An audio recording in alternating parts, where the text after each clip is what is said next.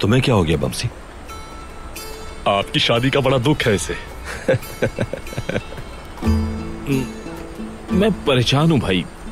मैं समझता था तलवार आपकी महबूबा है और घोड़े आपकी औलाद लेकिन अब ये सब कुछ देखकर समझ नहीं आ रहा कि क्या कहूँ।